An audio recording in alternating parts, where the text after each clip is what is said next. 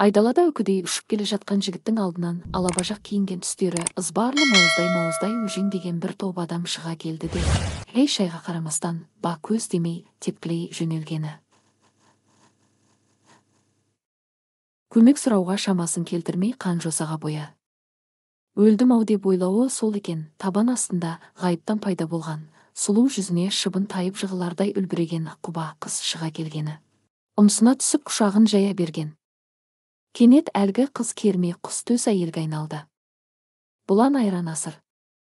Тоқтаңдар сылқым бикеш қолын көтерді.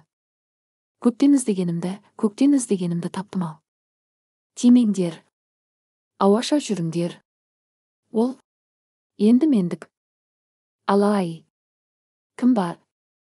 Алай басы тығырылып айқайлап оянған жігіт ағасы меңзығыр қасында жатқан қараторы әйелде есті жоқ көздері бақырайып үнсіз.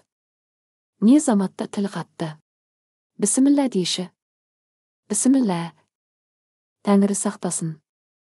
Жайсыз түс көрдің бе отағасы ау зәрем ұшты ғой. Бүйтіп айқаулауың алғаш. Бытықы шытықы бірдеңелер түс. Түлкінің боғы ештеңе етпес. Су берші қаталап барамын. Ауылды жерде жаңалық жата ма ертеңіне ақ мұңлықтың келіншек әкелгенін ынта ауылының тұрғындары тегіс естіп білді. Оқуын тастап бұзық топқа қосылыпты деп еді. Ие жөн болды мұнысы. Соның оқу оқығаны өтірік пе деймін? Барахолкадағы базардың рекет екен. Жұртты қан қақсатып өздері белгілеген стапкаларын күнде кешке сыпырып сиырып жинайды дейді. Осындай өсек аяңды қайдан естисіңдер? Көзбен көріп қолмен ұстамаған соң күнәға жатады біле білсеңдер. Қалай дегенмен аяғы тұсалып шаңырақ көтергені дұрыс болды. Жасы біразға келді емес пе? Біздің қабылан мен түйедей құрдас отыздан асты жаңылмасам. Сенің қабыланың. Төрт баланың әкесі. Ештен кеш жақсы отыз жас орда бұзар шақ емес пе? Ақсымбат атты айшықты жазу ілінген азық түлік дүкенінің алдында өсек сапырып тұрған үш төрт әйел анандай жерде келе жатқан ықылас қартты көре қалып әңгіме тақырыбын өзге арнаға бұрып жіберді. Биыл бұл ауылда бидай бітік шығып жеті шаруа қожалығын біріктірген ынталылықтар аудан орталығынан келген астық сатып алушыларға жылдағыдан артықтау бағаға өткізіп тепсе темір үзетін ер азаматтарды былай қойғанда тіпті шал шауқандар мен мектеп оқушыларына шейін қырмандағы жұмысқа жабыла кірісіп бір апта бұрын белдерін жазып демалған еді. Енді жазға дейін ауыл адамдарының қолдары бос. Ықылас отағасының үйіне таңертеңгі шайдан соң бес алты кемпір құтты болсын айта келді. Түнде жайылған дастархан әлі жиналмапты. Балғаның шешей көршілеріне өзі шай құйып ара арасында үйдің ұсақ түйек шаруаларын тындырып қолы тиер емес. Анда санда төргі бөлме жаққа қарап қояды. Еш белгі жоқ тым тырыс. Әбден жолсоқты болған ғой. Дейді өз өзінен күбірлеп. Жә жата тұрсын тынықсын түске тақау төргі бөлмеден есінеп құсынап мұңлық шықты. Үстінде қысқа жең қызыл футболка бұтындатар шибарқыт шалбар ұйқың қанды ма деді ыдыс аяқ жуып жатқан анасы қолын алжапқышының етегіне сүртіп қатып қалыппын сұлу жүзді қыр мұрынды жігіт аулаға шығып дене шынықтыру қимылдарын жасай бастады содан соң былтырғы жазғы демалысында өзі орнатқан белтемірге тартылды ізінше ере шыққан анасы аң таң үйленетін ұлдың түрін қара төркіндеп келгендей келіннің жатысы анау. Не бетімді айтайын. Қапелімде қара кемпірдің есіне шалының сөзі түсе кетті де. Беті қолыңды жу да шайыңды іш. Келін оянды ма? Деді. Маржан жата тұрсын ұйықтасын. Баласы артына бұрылды. Мен қазір келемін. Жата тұрсыны қалай. Ой аллай. Осы күнгі жастар біртүрлі жә сабыр сақтайын. Оянар тұрар. Гүлстан шешей шәугінге еселей су құйып газ плита үстіне қойды. Мұңлықтың қарны ашқан екен. Үйдің тамағын сағыныппын. Деді табақтағы қуырдақты қалайы қасықпен қарбыта асап жатып. Ажары ақ шүберектей оңған ұлдың бетіне қан жүгіргенін аңдаған ана байғұс жыр бар ала ғой ал. Дейді бәйек бұла тағы да салайын ба? О о тойдым апа көп рахмет тершіген маңдайын сүртті. Әкем қайда? Көрінбейді ғой бір жаққа кеткен бе? Қазір келеді маржан оянды ма екен? Деп орнынан тұра берген баласын гүлстан шешей сәл аялдашы деді кідіртіп. Отыр әңгіме бар ал отырдым деді ұлы құйрық басып балам ау хабар ошарсыз аяқ астынан келуіңе жол болсын. Өткенде үйленем деп айтпап едің ғой. Бұның қалай? Ұяттымын апа деді мұңлы ойланыңқырап отпуск алдың ба? Жұмыстан шықтым елде қалуды ұйғардым. Асхаттың үш баласымен сіздерді қосқанда жеті жан екенсіздер. Үйдің кенжесі болған соң қара шаңырақта тұрғаны жөн оның. Ауылда бос үй табылса сатып аламыз. Аудан орталығына көшетін екі үш шаңырақ бар деп естігемін пұл болса үй табылар. Ақшадан қысылмаймыз деді мұңлық. Өзің көріп отырсың үй тар. Екі келінімді жұмсап немерелеріме қарап отыруға қарсы емеспін. Апа ау сіздің дархан көңіліңізді білемін. Ағайын тату болғанмен абысындардың алыстан сыйласқаны жөн. Елді де сағындым бір екі жыл ауылда тұрсақ деймін. Бір есептен бұл шешімің маған ұнап отыр. Тойды қашан жасаймыз? Құдаларға бару жағын ойласайық. Тойға асықпайық ал құдалардың алдынан өту ешқайда қашпас. Жұртқа не айтамыз? Олардың не шаруасы бар? Ел не демейді есек не жемейді дейтін бе қой балам ұят болады ойланыңдар. Асықпайық апа. Мұңлықтың аяқ астынан үйленуіне не себеп болды? Маржан қандай қыз? Енді сол оқиғаны баяндайық. Бес ұлдың ортасында өскен жалғыз қыз маржан ерке болып бойжетті. Ұлдар бір төбе бұл бір төбе. Қаршадайынан киімді таңдап талғап киді. Өзіне не кисе де жараса кететін. Ширақтығының арқасында бастауыш сыныптан бастап белсенділер қатарына қосылып мақтауға тым ерте ілікті. Ешкім бетінен қақпаған үйдегі шолжың еркелік мектептегі артық марапат жас қызға сор боларын қайдан білсін байғұс атана. Жоғарғы оқу орнына түсемін деп алматыға келген жылақ ойнақтап жүріп от басты көрсе қызарлығы мен жеңілтектігінің кесірінен университеттің үшінші курсынан шығып қалды. Тәкаппар қыз аса уайымдаған жоқ. Адамдармен тіл тапқыш мінезінің ажарлы өңінің арқасында тіршілігі қым қуыт қайнаған үлкен мегаполистегі салтанатты мейрамханаға даяш болып жұмысқа тұрды. Сұлу бойжеткенге кімнің сұғы қадалмас? Әдегеннен мейрамхана қожайынның көзіне түсіп соңында ашынасына айналды.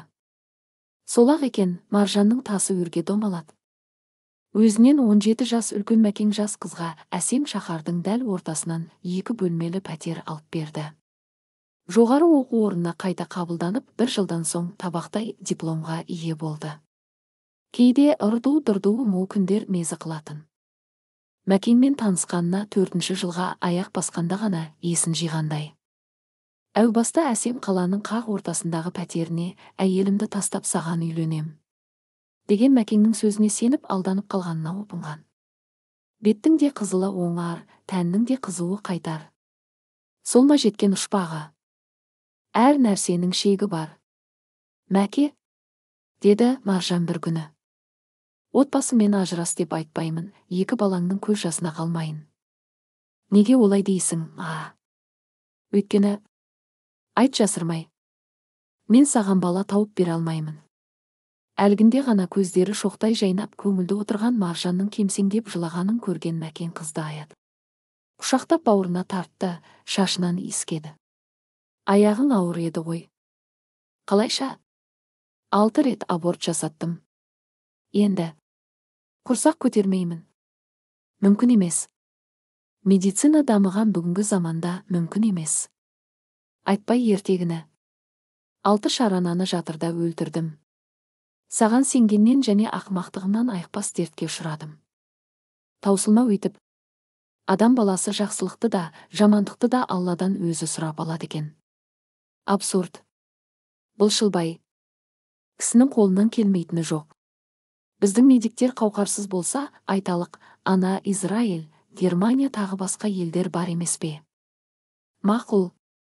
Сен айтқан шет елге де барармын көтерермін бір шикі өкпені зәремді ұшырдың ғой жаным жарайды мәке әңгіме тақырыбын ауыстырайық уақыт өтіп барады. Даяшы болып жүре беремін бе? Жалықтым. Ақшасы көп жеңілдеу жұмыс істегім келеді. Жұмыс дейсің бе? Так. Жауапкершілігі аз ақшасы мол. Так. Көптен ойда жүрген мәселе айтуға ұялып ыңғайсызданып былай кішкене нелеу лас дейміз бе? Харам дейміз бе? Ақша жүрген жерде адалдық бола ма? Айтсаңшы әуелім. Жезөкшелер үйін ашып берейін. Супер бизнес. Кіршаң қызыл жағалылар сенің миссияң. Жеңгетайлық. Түсіндің бе? Бірер жылдың ішінде мәкең ашқан жезөкшелер үйі қылмыс әлеміне кеңінен таныла бастады. Бастапқыда қала ортасынан төрт бөлмелі пәтер жалдаса кейінірек шаһар шетінен алатау баурайынан үш қабатты коттедж сатып алды. Жеңгетай келіншек келе келе тәжірибе жинақтап алдап арбаудың қулық сұмдықтың неше түрін меңгерді. Қыздар саудасымен әуелде өзі айналысып уақытының көбін соған жұмсайтын. Екі жыл бұрын диспетчерлік вакансия ашып оған өзінің таныс құрбысын отырғызды. Бұған дейін жолаушылар пойызында жолсерік болып істеген айлакер әккі қыз барлық шаруаны тас түйін қылады. Маржанның міндеті екі жердегі жағдайды бақылау және күнде ақша жинау. Басқа кезде қолы бос өзі. Би өзі. Қожа тікелей бастығы қожайынмен небәрі үш рет жолықты онда да мейрамхананың алакөлеңке оңаша бөлмесінде. Қырық жастардағы қасқабас жігіт ағасын көрген сәтте іш жиып қалды. Артық сөзі жоқ шефінің іскер адам екендігін бірден сезген. Қорықпа деген маржанға. Клиенттеріңнен ши шықпаса біздің бикештер сенімді. Еңбек ақыларын апта соңында бересіңдер. Ақшадан жымқырсаңдар ренжіме деді шегелеп. Қайда қызмет істейтінін аты жөнін айтқан жоқ. Лақап есімі. Шеф. Саған бір адам келеді қойған сұрағына ғана жауап бер. Деді қоштасарда. Түсіндім. Деді жеңгетай. Ертеңінде шефі сырттай таныстырған жігітпен офисте жолықты.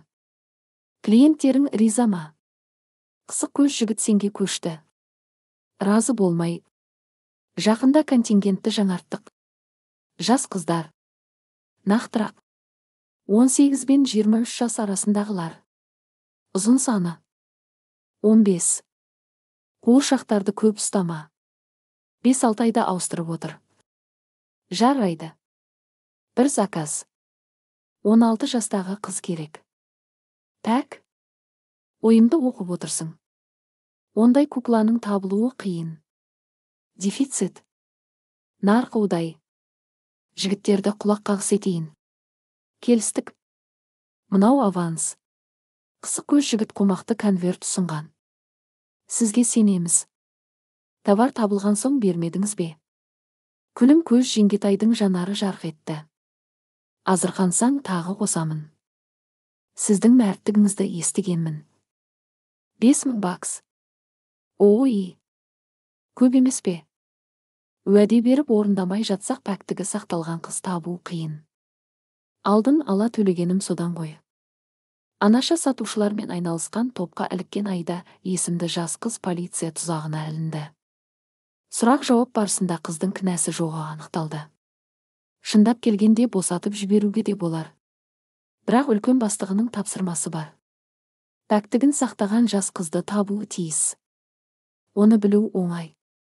Қасына верониканы апарса болғаны.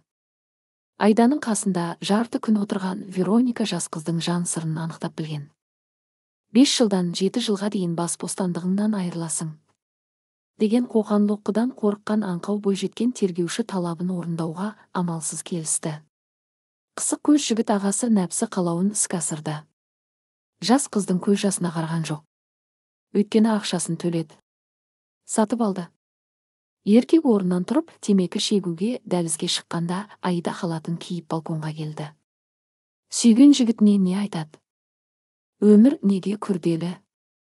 Тағдырдың табан астында тас талқан болуы өзіңе байланысты емес ау. Өксіп-өксіп жылағысы келген көзінен жас шығар емес. Кеуде түкпірінен ар ұят адамгершілік жігер намыс атты сезім бас көтерді. Әлпештеп өсірген ата анасы алдында жер болдау ана адамның өліп өшкен тұрпайы қимылы үздігі айтқан сөздері есіне түсіп жанары жасаурап көздері қарауытты. Бұл қорлық өлім жер басып жүрудің керегі бар ма? Айда деген дауыс естілді жатын бөлмеден. Қыз балконнан бірақ секірді. Одан кейінгісі болдыр. Есін ауруханада жиды. Не болған маған? Ап ауыр не бұл? Гипске салып тастаған ба? Бұл төтенше жағдай аудандық ішкі істер бөліміне дабыл қақтырды. Жезөкшелер үйіме тықыр таяды. Жеңгетай маржанға қауіп төнді. Шефі бұның екі тәулік ішінде алматыдан көзін жоғалтуын кесіп айтты. Бәрі реттелген соң келесің деді шегелеп. Автобус аялдамасынан түскен маржан басы ауған жаққа кете барды. Бағыты беймәлім. Құдай ау мынау қай көше? Қоғамдық көлікке отырмағалы қашан? Алматыға келген сонау жылдары ғана автобусқа отыратын кейін ғой бәрін ұмытты. Астында аппақ мерседес қысы жазы қара көзілдіргін шешпейтін оқағары шофер вадимнің арқасында алматының қай бұрышына қай даңғылына бармады. Вадим артық сөйлемейді. Қойған сұраққа ғана жауап қайтаратын. Ол мұның жағдайынан хабардар ма? Шеф ешкімге тіс жармас. Вадимге телефон соқса жетіп ақ келер. Оның керегі қанша? Жасынан ерке шора намысқой бірбеткей өскен қыз ондай ондай жасықтыққа бара қоймас. Әсте? Одан да өліп кеткені оңай. Екі тәулік ішінде алматыдан қараңды батыр. Бәрі реттелген соң келесің. Қасқа бас осылай деді. Оған да тықыр таяды. Ана қызды айтам. Бейшара ар ұят не тең екен? Пәктігімнен айырылдым деп өзін өзі балконнан тастағаны ақымақтық. Ну и что подумаешь? Әзірше тірі. Жамбас сүйегі быт дейді көрген жігіттер айтып келді. Жә қайдағы бір шөп желке немеге уайымдап? Ол өлмей тұрғанда қарамды батырайын. Жоқтан өзгенің миға келетіні қалай? Ойына жерлесі мұңлық оралғаны. Екеуі мектепте бірге оқыды. Үш төрт жас үлкендігі бар талантты жігіт математик еді. Институтта сырттай оқып осында жұмыс жасайтынын естіген. Сонау мектептегі жылдарда маржанға өлердей ғашық өзі де сымбатты қыр мұрын қара тор. Бұл артынан жүгірген ұлдардың ешбіреуіне қараған жоқ. Еркек атаулының мысын басып ынтықтырып тұрарын жақсы білетін қыз өз бағасын білетін. Ылғи бір сүреңсіз ойда келе жатқан әйелдің көзі тас төбесіне шықты. Мұңлы қарсы алдында тұр. Қуанғаннан жерлесін құшақтай алды. Мұңын шағып көз жасын көлдеткен маржанды аяған мұңлық оны өзі тұратын жатақханаға ертіп әкелді. Сол түні екеуі отау құруға байлай жасады. Ертеңінде пойызға отырып жігіттің ауылына жүріп кетті. Басы бос сыбай салтан әйел көңілі құлаған өзіне ұнаған жігіттермен әсем шаһардың небір мейрамханаларында сауық сайран құрып ойнап күліп түн ортасына дейін болатында оның соңы өз қалауымен нәпсі қалауына жалғасатын. Жын ойнақ ырду дырдуға үйренген күлімкөз келіншектің жалғыз күйеуге басыбайлы таңылуы бір еркекпен ғана шектелуі жалықтырды. Жүз түтінге жетіңкіремейтін алақандай ауылда кіммен сөйлескенің кіммен жүріп тұрғаның?